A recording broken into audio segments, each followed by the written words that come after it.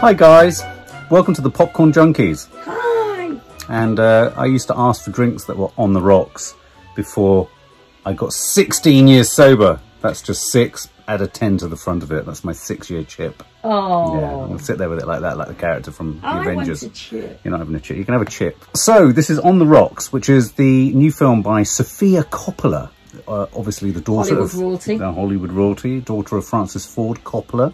Um, she directed The Virgin Suicides, which there was a huge excitement about, wasn't there? And it was, That's it was a her best film, it was a rich film. It was a rich film. She did do a film. I'm just reminded, looking at her filmography, she did a film a couple of years ago called The Beguiled, which we all really liked, with Colin Farrell I and didn't Nicole like it as much as everybody else because No. it was a remake, wasn't it? That's right. Eastwood. But yeah, no, it was We really like that. Then there's obviously one of her most famous films is Lost in Translation, which is key to this film because, of course, it stars Bill Murray and Scarlett Johansson. It's one of Izzy's favourite films. Oh, I thought it was over. over Do, did you? Time. I must yeah. admit, I, I enjoyed it, but I think I couldn't work out whether it was just lazy Mm. or whether it was just kind of trading on reputation type thing. Both You of know- those things. Oh right. Oh okay. There you go. Uh, but I'm I am an enormous self-professed Bill Murray fan. He only has to sort of look to the left, look to the right, look up, look down, say not very much, open a door, and I'm just on the floor. Oh, I mean, I'm an enormous Bill Murray fan. Uh, this stars Bill Murray, and uh, it also stars, interestingly, uh, Rashida Jones, who great, Rashida Jones, yeah, she's Quincy Jones's daughter. No. Yeah, yeah. Best track by Quincy Jones. If you haven't heard it, go and download on Spotify. The Dude, Oh, okay. Yes. greatest track. Forget all his Michael Jackson produced stuff. So really, it's a very simple, very short story. It's on Apple TV. It's on streaming at the moment. It did have a limited release at the cinema. Um, it's a very short film. It's about ninety minutes long, and um, it's basically the story of a daughter, grown-up daughter. She has two children. Uh, she has a husband. They appear to be happily married. They live in New York, um, but just the kernel of doubt creeps in where she thinks her husband's having an affair.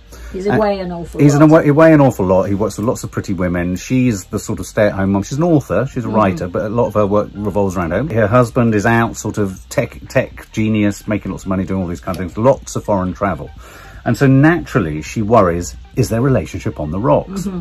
And I thought, in quite a neat, very simple conceit, she turns to her father, bizarrely, who's a sort of roguish, raffish kind of. He's politically Yeah, incorrect. Therein lies the first problem for me. Is he's the very last person you'd ever turn to for marital advice. Right. So what she does is she inveigles her, her father into. Well, no, she doesn't. She shares with her father that she's worried Yeah. about the fact that he might be having an affair, and her father sets off uh, her mistrust and her doubt With great have and her fear. the sense that he's he's Yeah. well into finding Yeah. out this mystery. So he essentially he triggers her into what becomes a sort of investigative film of her trying to work out if her husband's having an affair, sort of urged on the fires, flame, fan, fanning of the fires by her father, Bill Murray.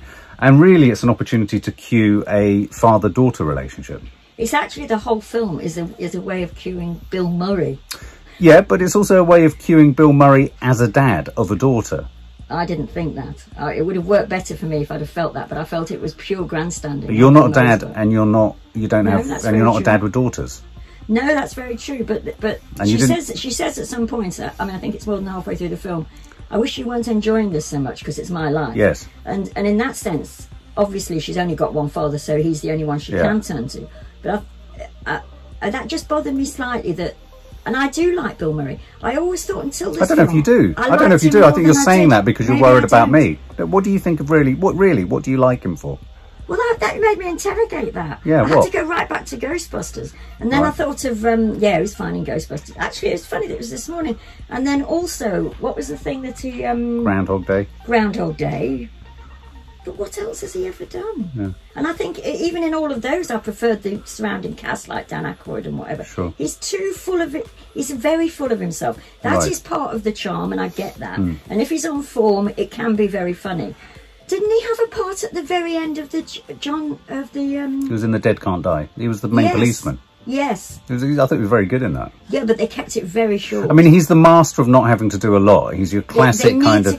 keep his screen presence very short, and I felt in this that she she actually gave him a bit too much, so he hung himself a bit. For me, for me. Right. I thought you know, it must be very hard being Sofia Coppola, being the daughter of probably one of the most sort of seismically important directors, indie directors, Ever. who's remained indie as well by and large, who made, you know, Apocalypse Now, The Godfathers and all that kind of stuff.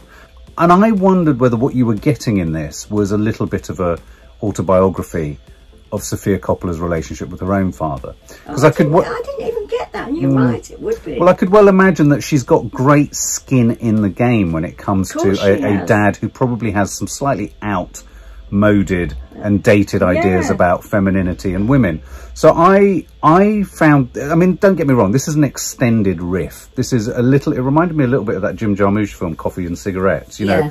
it was an extended Thor.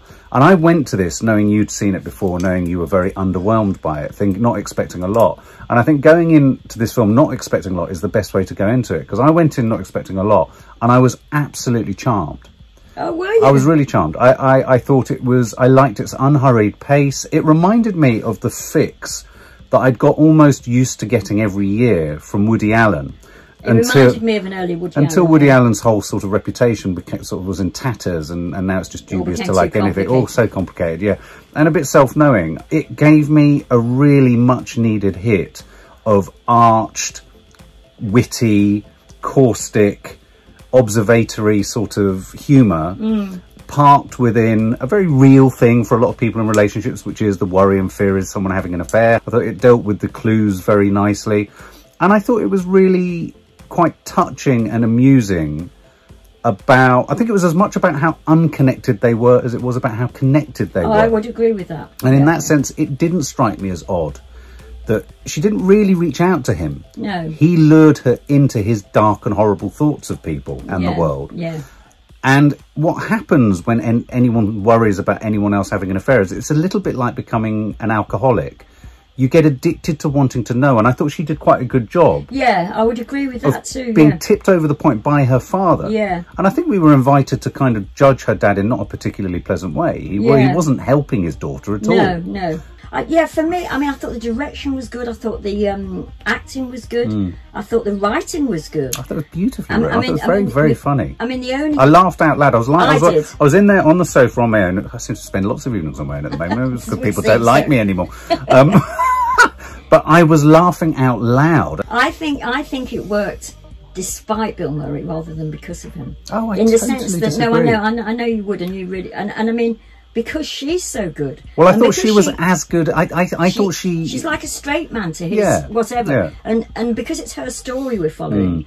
And very rapidly, I mean, I tried to, I tried to suspend my not dislike of Bill Murray. It's not yeah. a dislike at all. It's just that he does grandstand, and I feel as he's got older, he really just wants to look at the camera and everybody fall on the floor saying, "Oh my God, it's Bill Murray, isn't he wonderful?" Before he does anything, mm. and that sort of slightly. But what I hear about him is he's not that sort of guy at all. No, I think I think people are just drawn to that in him. I just think yeah. it's some it's a part of it. I mean, I thought maybe that's very unfair. I thought he did poignancy really nicely. I thought when he but hugged her, her yes, yes. When he and, held her, when he left her, and I loved this. I mean, there were some lines that were so fatherly that I thought mm. were lovely. You know, like he better, you know, he ought to be looking at treating you as the best thing in the well, world. I, it reminded me of you. And I have to say, I mean, I texted Izzy in the middle of it saying, you have to watch this film. I texted, I texted, Maddie and texted Sophia. I texted Maddie Key Gamfler saying, you've all got to watch On the Rocks. This is how I'm going to be if anyone ever does anything wrong to you. I thought Marlon Wayans. He's. Oh, he's one who of the plays Wayans husband. Brothers. Who are the Wayans brothers? They, they used to be in loads of films like Jump, uh, base basketball films. Oh, Scary Movie. He's from Scary Movie yeah. and White Chicks. He was in Requiem yeah. for a Dream as well. Yeah, oh, okay. I thought he was great. And I, I thought he did a much better job, interestingly, of another recent film we've reviewed, Rebecca,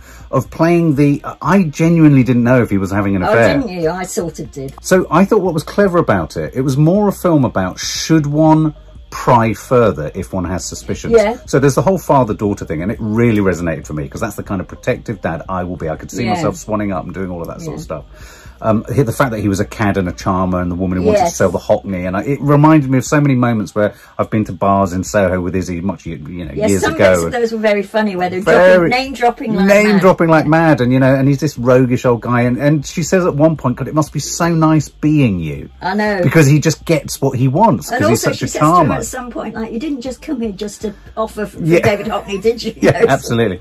So I thought, well, that was nice. But I thought it was also an interesting film. And this is where, again, it did that Woody Allen thing that Woody Allen used to do and I sort of miss in films now, which is it set me off exploring the rights and wrongs of whether one should pry. You know, so when she went to go into his phone and she saw that there was no text, I immediately read that exactly as Bill Murray then said to her, that's more suspicious. Yeah. So I thought it played very well on that idea of, of, loving your partner, trusting your partner, but, but if something flags up as a red flag and you, have got an issue, mm, mm should you follow through on it? Yeah. And I thought Bill Murray played a really, you know, the, you know, in the old-fashioned cartoons, Tom and Jerry, where you'd have a devil on one shoulder and an angel on the yeah. other. The devil's telling you to do this, and the angel's Absolutely. telling you. And I thought he was great because he was clearly cast as the devil. Yeah. In her mind. Yeah. Uh, and you were left thinking, you're not a very good dad, actually. No. She's chosen much better than you. Absolutely. And I like that. So I thought, I thought, and I thought she did a really good job of your of matching great. him, of matching. Of her, yeah. yeah, she was great. Very subtle, very low key, and for me, it really did its job. I really, really enjoyed it. Yeah. But you didn't.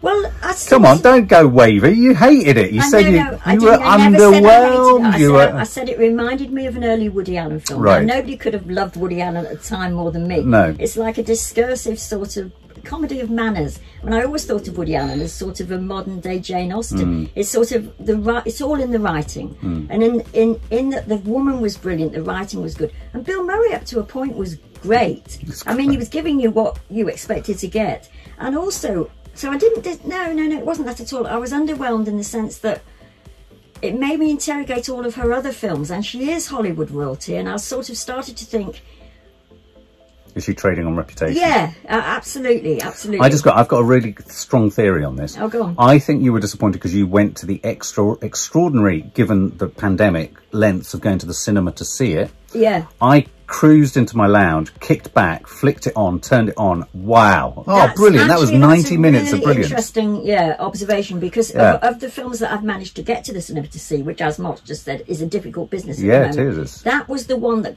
drew the most people. Right. And I felt that there was a general, uh, um, which you don't get anymore because none of us go to the cinema, yeah. cinema feeling of disappointment. So maybe I picked up on that as yeah, well. Yeah. Whereas for me, I would recommend if you've got Apple TV, plop this on for 90 Actually, minutes and you will true. be beautifully distracted. Because I would have loved it of an mm. evening at home and, you know. It's light, yeah. it's tasty, it's fun, it's funny, it's thought provoking. It gave me the, the sounds. I just closed my eye on one, eyes on one sequence, my eye on one sequence and I just listened to that nighttime music of New York sound streets and it made me pine for our trip that we didn't get to do and mm. it made me just I think oh I can't wait for us to go back New York. Yeah. in the way that Woody Allen yeah, I love was, story to New York yeah really really and, and also there, there's enough in the premise and I felt that this was very true as well that forget forget my feelings about mm. Bill Murray he was acting the part of a roguish mm. roue wasn't he yeah but but um, and one either loves him uh, depending on how much you love him for that.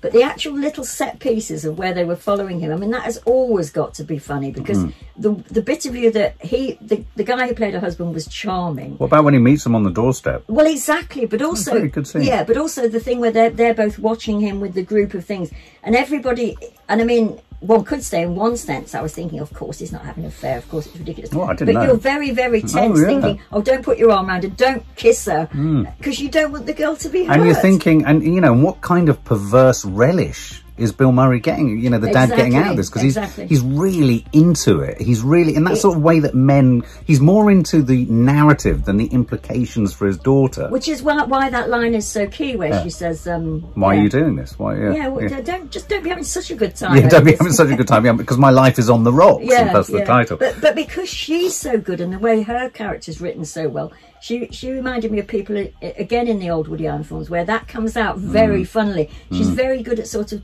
very bringing good. herself sort of. I loved her. I, th I thought it was yeah, a real real landing part for her. i Just for, you see, for me, I can never tire of moments like when he said at the party, "Walk backwards out of here, people." won't." I am going to do that because, of course, every you just see them walk backwards out of the that party. Bill Murray. That's it's Bill Murray classic Bill Murray. Yeah. Classic Bill Murray. Um, okay, I well, imagine he actually does that. Okay, well, in summary, I thought I, I kind of have summed up. I mean, I thought it was charming. Mm. I thought it was fun. It really resonated for me as a dad. It made me think about all my daughters. It made me worry for all my daughters' boyfriends and partners. All of you, worry. Um, I really loved the challenge of how much he was relishing this kind of story because he wanted to get to the bottom of something and how that overwhelmed really what was right for his daughter. Yeah. I loved the way it made me think about what's the right level at which to kind of be interested in what your partner's doing or not interested.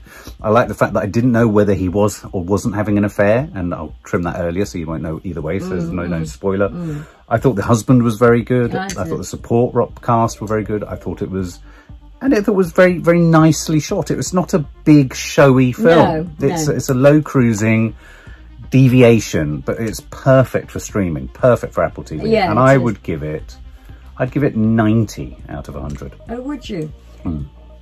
Okay, well, everything that you said I would agree with. Uh, beautifully written, beautifully observed, comedy of manners, really. Hmm. Um, and I think it will depend on how much you love Bill Murray, whether how where on the graph you come. Yeah. And it, but he's very good at what he does, and um, I could have just done with slightly less of him. Right. Um, I can't get too much. No. Uh, yeah. yeah. but I felt that was that yeah, was yeah. in this sort of it's the essence of the film in a way. Nobody right. could get enough of it. Yeah, But um, but altogether, no, I love the New York bits. I love the. It made me very sort of. Uh, but the bit about going to the cinema is very true. I think mm. I'd made such an effort, and I was trying to choose between mm. a few films that I knew nothing about. That I sort of was a bit mm. disappointed.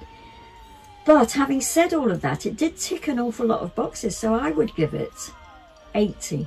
Okay, 80. 80. Yeah, more than I thought you were going to give it. Yeah. Have I dragged you up? Have I dragged your score no, up? No, no, no. I mean, it, it was only really Bill Murray, and, and you, one can't demote the film just for Bill Murray mm. because he's playing the part that she's written for him. I think she's very, I do think she's very good at sort of contemporary interior situations and scenes. She's very good at letting natural scenes yeah just evolve. Yeah, and depending on the strength of the actors in them, that, you know, I don't know, there's a sort of granular sense to them. And I do remember that with the Virgin Suicide. So I, I, I don't know, I, I thought it was kind of return to form for me. I, having oh, said okay. that, I really like The Beguiled. I was I forgot that she'd made yeah, The Beguiled. Well, I, so I hadn't maybe I, maybe I like Sofia Coppola's films. Yeah, maybe, hmm. maybe. For more film and family fun, don't forget to click the subscribe button and make sure to click the bell to never miss an update.